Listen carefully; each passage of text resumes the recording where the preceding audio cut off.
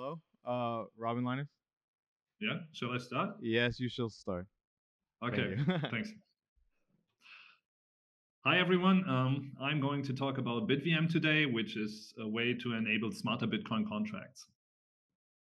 First of all, the motivation. We would like to scale Bitcoin to a billion users and beyond.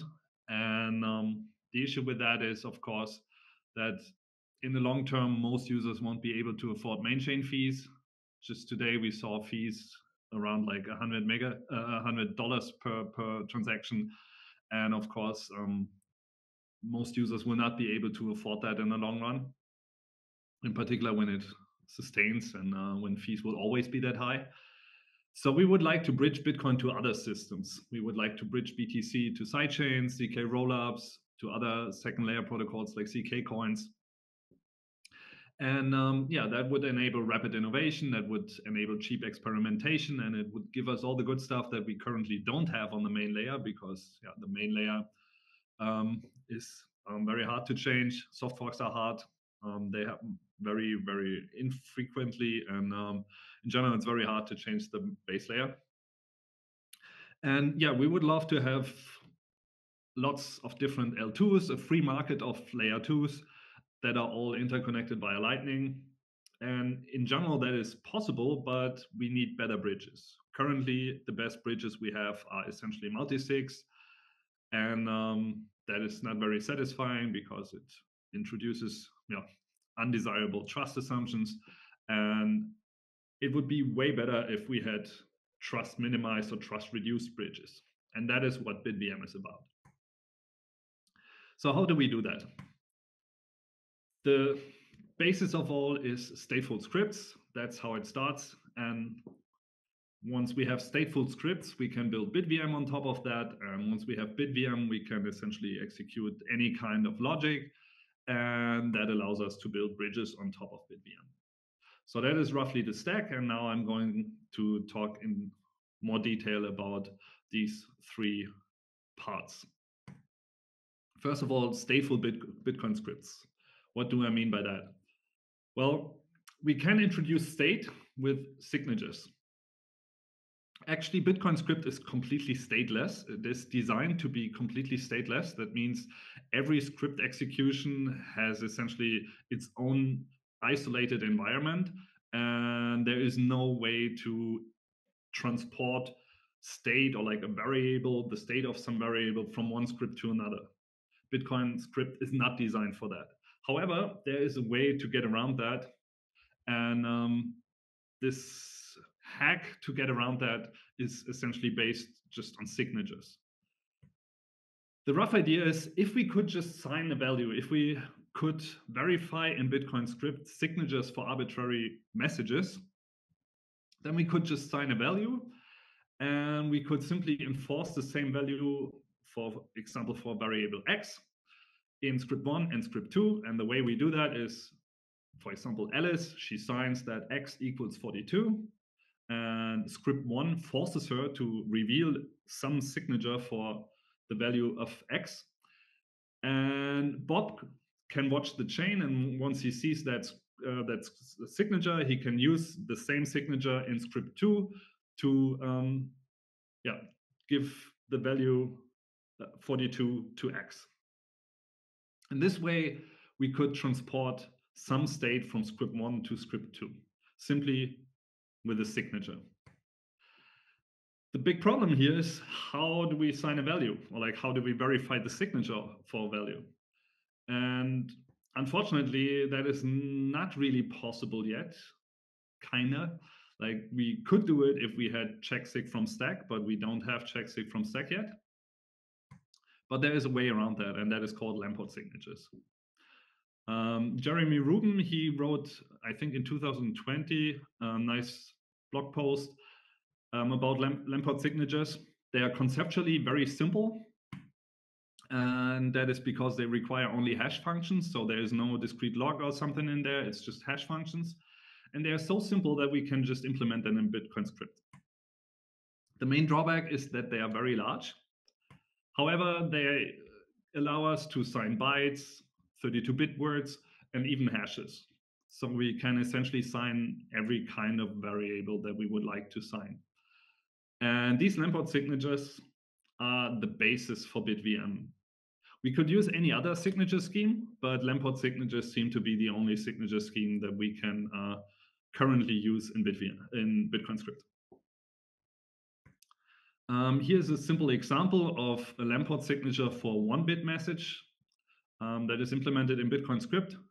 What it does, it takes the input, like the input here would be um, a pre-image, and um, there are two hashes. There's hash one and there's hash zero, and you can provide the pre-image for hash one, and that essentially puts the value one on the stack, or you could provide the pre-image for um, hash zero, and that would put the value zero on the stack. And if you would provide any other pre-image that does not hash to hash one or hash zero, then uh, the script would just fail. And this gives us a simple Lamport signature for a one-bit message. A one-bit message is not that in, that interesting, but we could easily um, yeah, generalize this to an n-bit message just by copying the same script n times.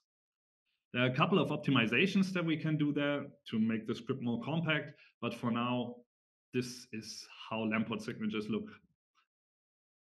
Um, the second way to introduce state in Bitcoin is to use connector outputs. Connector outputs are an ingenious concept that um, I know from Ark. Ark was introduced by Burak. I think it was also um, presented at, um, at this conference here. Um, the idea behind connector outputs is to have a transaction, a conditional transaction that has as condition a, another transaction. So for example, here, this parent transaction, it consumes an input from Alice and it creates an output for Alice. And Alice pre-signs this output. And uh, she, she pre-signs this output to be spent with a conditional transaction. And in her signature, she commits to another input. And that input is an output of the condition transaction. That is the transaction that Alice would like to see.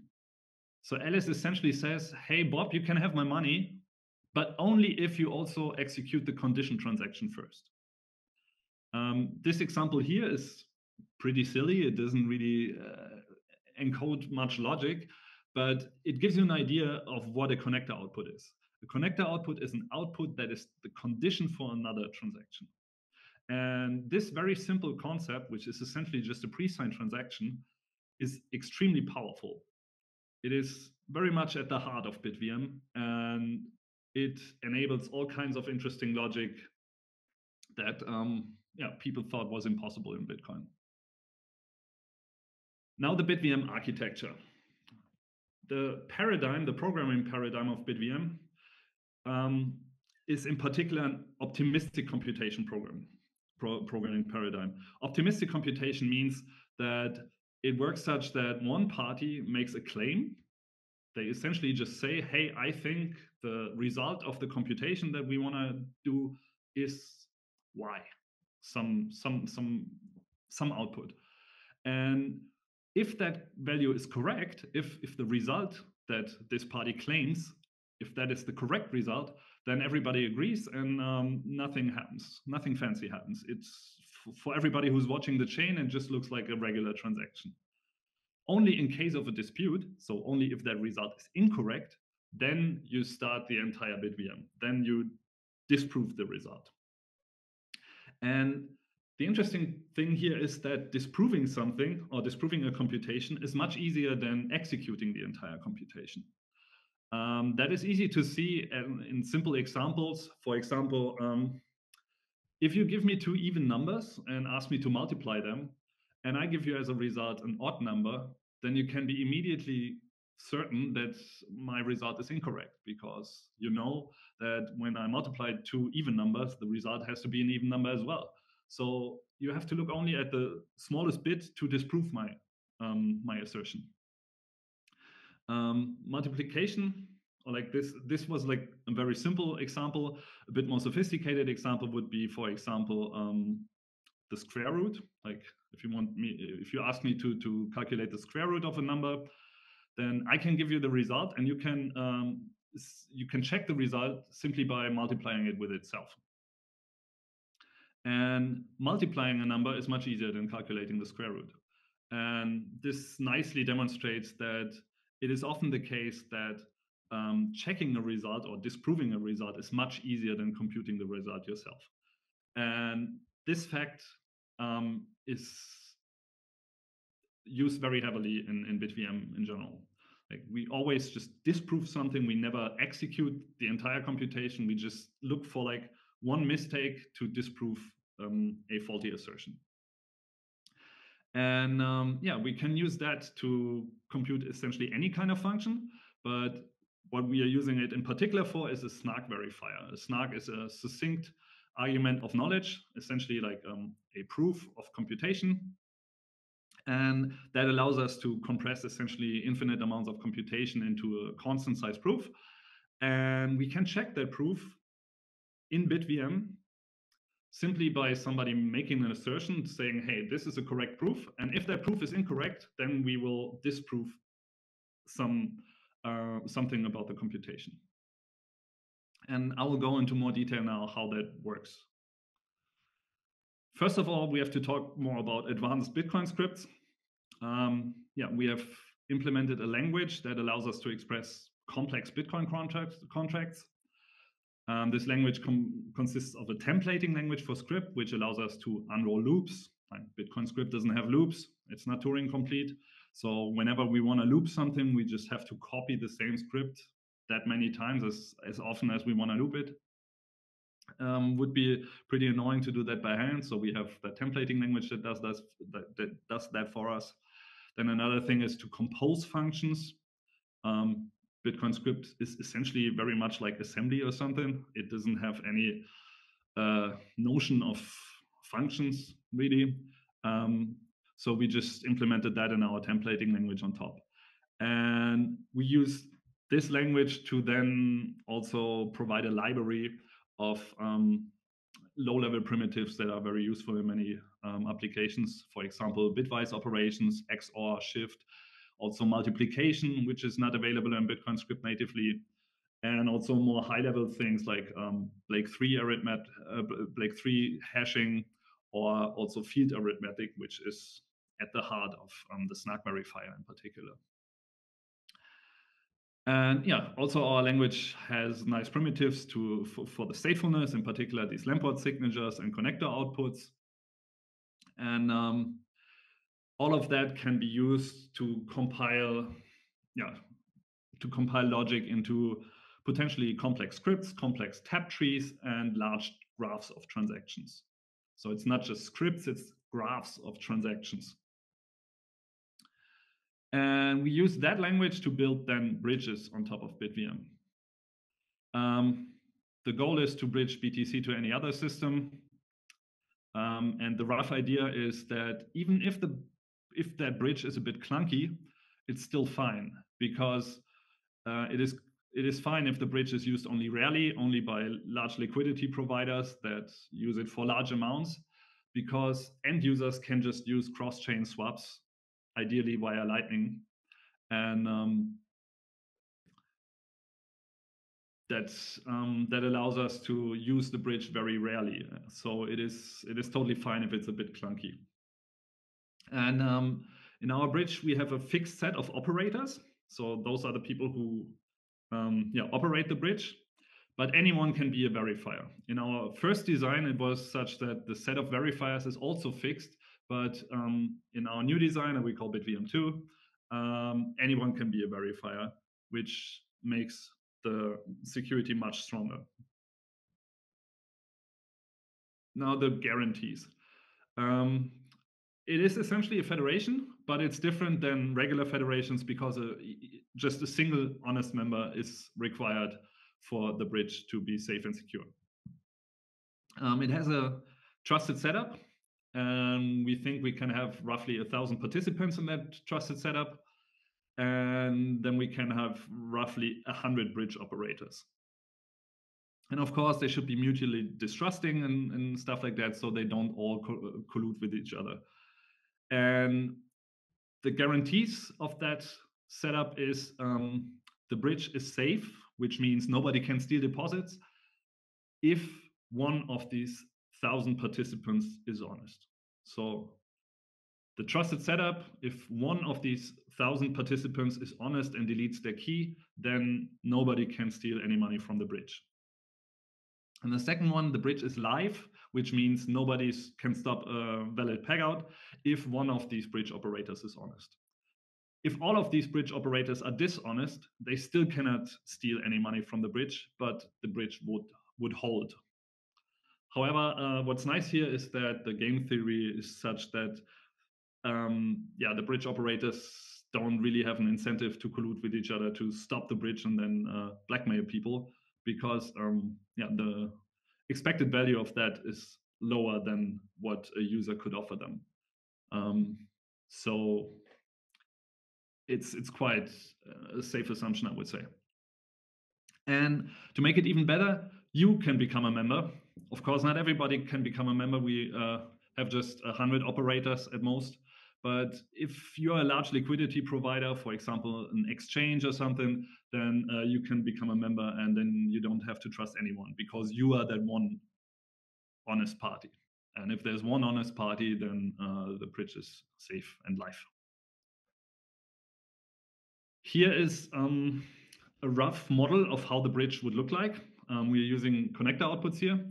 Um, so the, during peg-in, Alice pegs in 100 BTC and she sends it to an n of n. So that would be a thousand of thousand um, output. We can nicely compress that into a single signature using MuSig.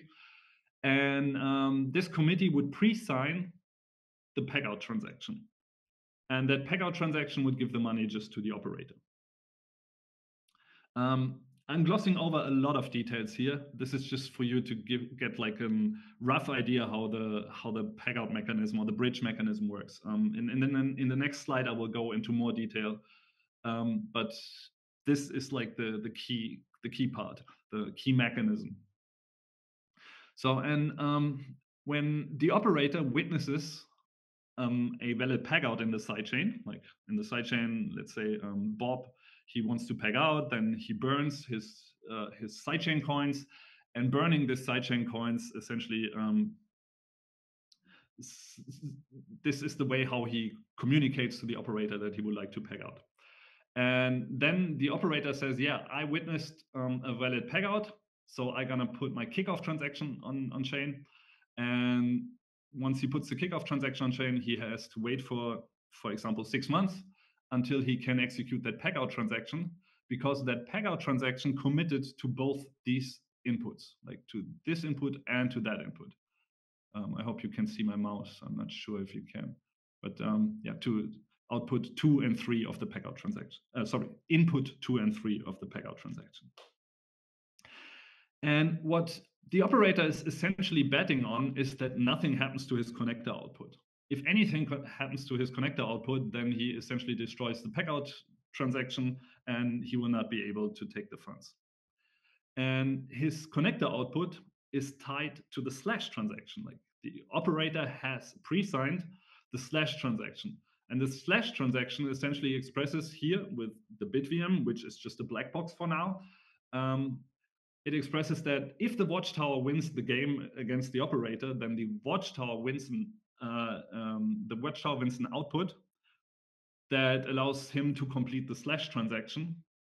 And then the watchtower can execute the slash transaction, essentially spending the connector output of the operator and rendering the pegout um, transaction obsolete. So the operator will not be able to execute the pegout transaction because his connector output was burned.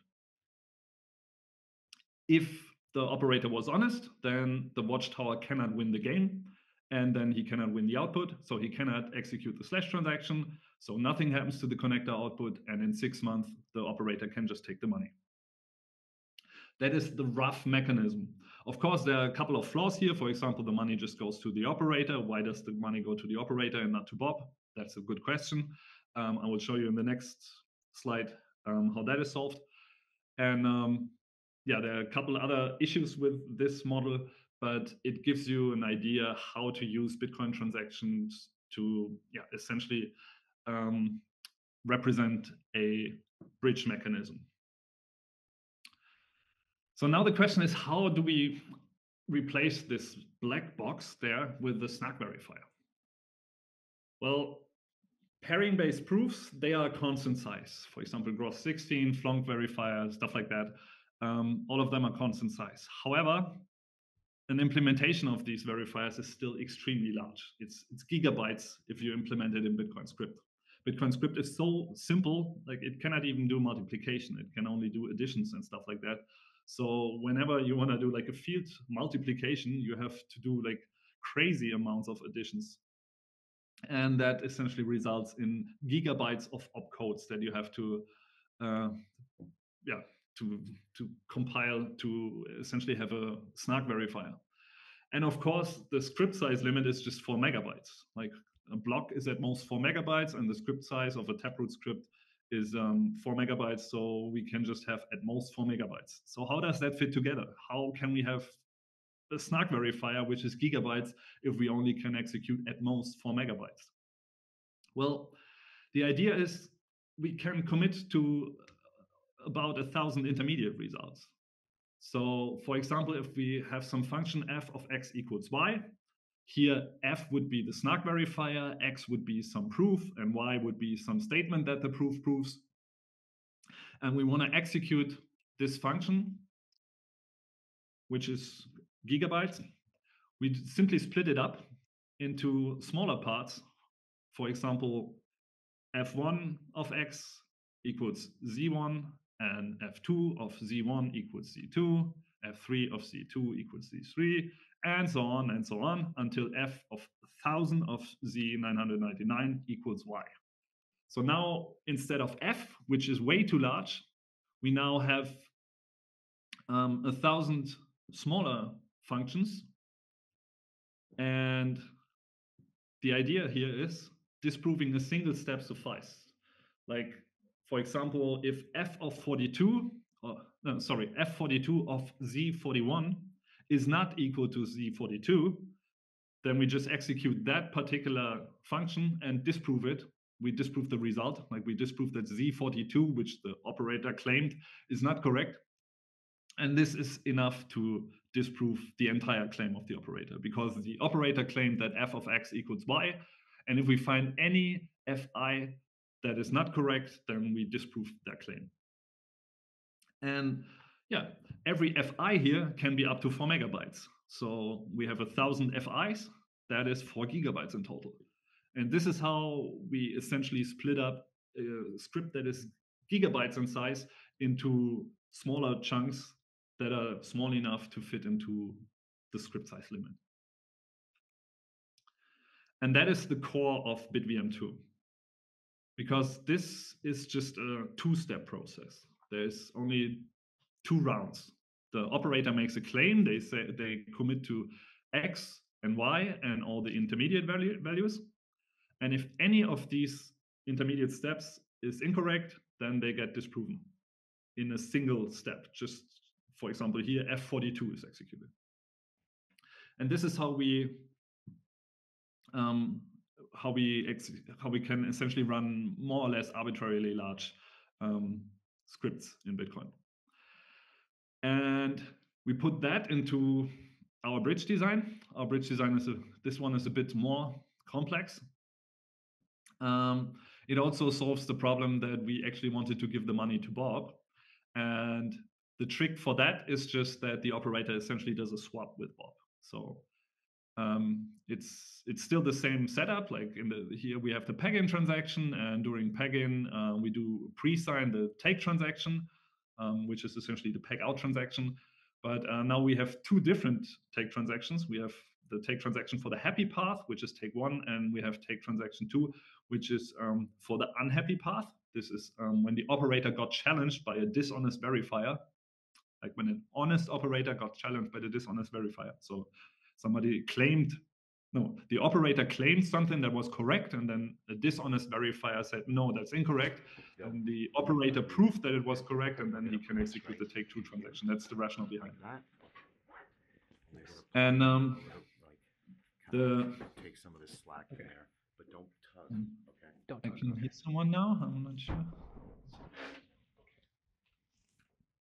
Yeah, I'll just continue.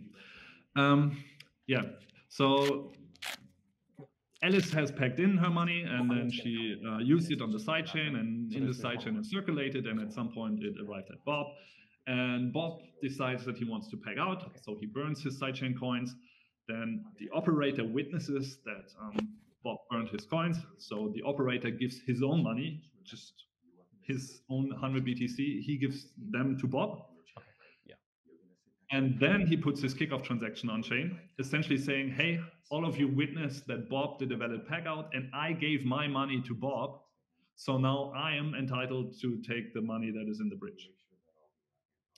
And he commits to Y here, which is essentially the statement. This uh, the statement would be the, the state of the chain, the state of the Bitcoin chain, essentially, saying, hey, this is a block header that that commits to a chain that contains this valid peg out transaction.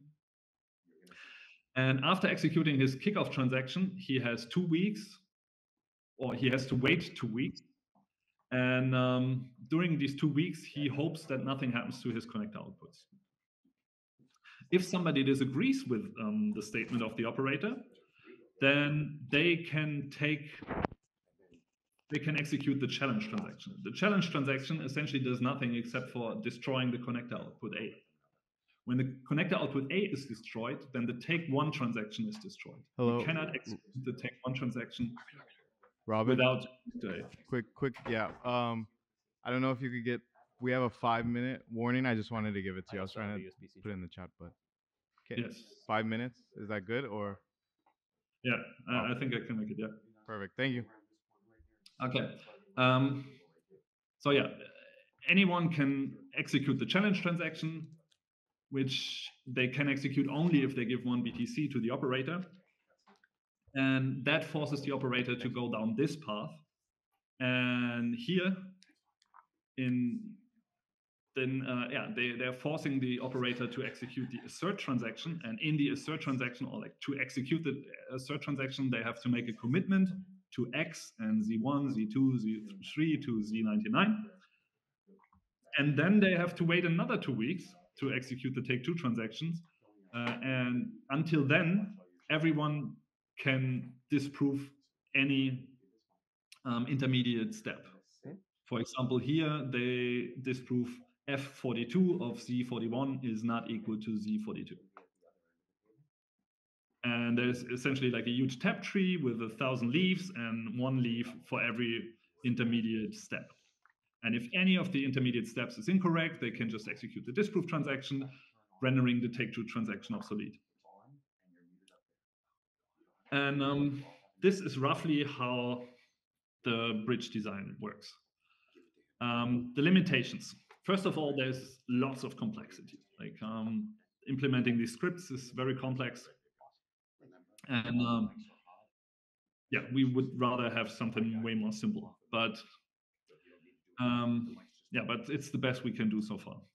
The other thing is we have to balance the incentives. So the loser should always pay the winner's fees and the bounty. So whenever someone is dishonest, you're not sad, you're happy that someone is dishonest because you can make a profit from that. Like whenever somebody lies, then they will lose money at the end. Please don't do it again. And yeah, if the incentives are balanced, then the chain is probably never never needed because it would be stupid to lie. Because when you lie, you will certainly lose your money. Um, yeah, the problem here is, or like one of the problems here is that the uh, operator has to front the capital for two weeks. However, um, yeah, in practice, it will be um, not 100 BTC or something, it will be maybe 10 BTC coins or so. So it will be smaller amounts, and you don't have to front the entire capital that is locked into the bridge, but just like um, one particular uh, chunk that is currently um, yeah in the, process. And once the payout process is completed, so after two weeks, you can just reuse your capital, of course, and process more payouts if you want to. But probably payouts will just occur very rarely, and um, it will never come to yeah to situations where um, liquidity is short or something. Um, yeah, and no one-to-one collateral is required. There are already bridge designs that exist today, but um, most of them are over-collateralized. Like you need as much collateral as there is money in the bridge. Here you don't need it at all. You just at most need the money um, for a single peg out. And one of the main limitations is that for every peg in, all thousand parties have to pre-sign. So you will probably not be able to peg in anytime you want. There will be just um, batched peg-ins. So once or twice a year you can peg in. You can peg out anytime, but peg in is uh, clunky, slow, so it won't happen very often. And the other issue is the federation can censor peg-ins if they want to. If somebody refuses to sign your peg-in, like one of uh, of the federation members, then you just cannot peg in. Summary, BitVM enables smarter Bitcoin contracts. The main use case is trust-reduced bridges for layer twos, in particular, sidechains, ZK rollups, and stuff like ZK coins. The main limitation is that it's clunky, but still practical. And what's great about it is that it requires no soft fork at all. Like it works on today's Bitcoin just as it is. It would be way better if we had TX hash. Um, TX hash would allow us to get rid of the trusted setup. Um, multiplication would be super great because that would extremely compress the, the, the size. And even better would be if we had op block hash, which would be an opcode push the latest block hash on, onto the stack. We have completed a um, very simple draft version, and we hope to release a quote unquote reckless mainnet version by the end of this year. Okay. Um, I think I don't have much time for questions. So essentially, that's it. Thank you.